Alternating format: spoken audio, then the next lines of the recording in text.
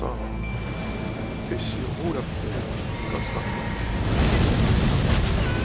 かなってんじゃないまあでもなんか近いぞ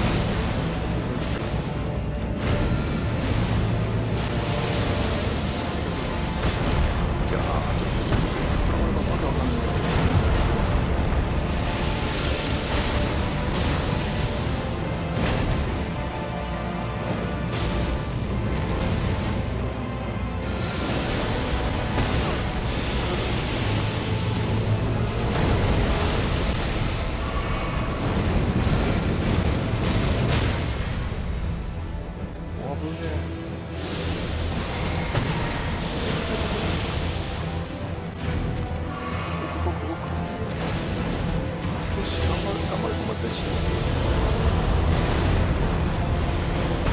なんかわかんな。いわかんな。いよし頑張るここだよでそああな。んか結構余裕だったな。どうも最低数4個で十分だったやったデミゴッドだぜこいつそんなだから強くないね。うん。遠距離で撃ってれば。あで装備こんな感じこんな感じ。あの適当やってればさあのレベルはどんどんどんどん上がってだから私72で止めたんだけどさそのインテリジェンス。あのなんかマレーニアだマレニアだったかって？いうやつがあの魔法持ってるから72まで上げたんだけど。これがクソ役に今のところ立ってなくてででまあどうしようかなっていうのが今の段階。でポットはまあ見ての通りなんだけどもまああんな感じで。でこれもねあの本来は本来変えないといけないんだよねこれ一番最上級のやつに、うん、で使ってるのがだからこれが要するにもっと重量あればもっと楽、うん、素早く動けるから。だからここら辺であの損してるよね。防御っていう面では。で盾ちゃんと装備してで魔法あの最初の時にあのシールドにかけてもうそれ以降はもうこれ保険ね。あのさっきやった時にさ 今度今度は魔法のポットが足りなくなっちゃってさなんか知らないけど。いいつ3つくらいでやったのかな？そうだ3つで。で4つあれば4つか、まあ、5つあれば楽勝だな魔法ポットは。魔法を使う上でね魔法ビルドの場合。だからあとあのもうあの皆さんはねあの本編のやつで私もすでにこれはクリアしてるんだけど昔にプレイステーション5で買いかけて途中からできるかなとできなかったからさ一からやってんだけどまあこれを一番最上級のやつに変えていただければあとはねここも装備もあのうまくできるしうん、でレベル150はもう本当にあのゲーム進めてればどんどん上がるのでで私はレベル20と30でバンバンバンバン敵倒してったけどラクリみたいな卑怯な手を使って。ただ別にあれは縛りでやってるんじゃなくてだから私アイテムいっぱいあるのよ。あのこれじゃこれなんじゃ？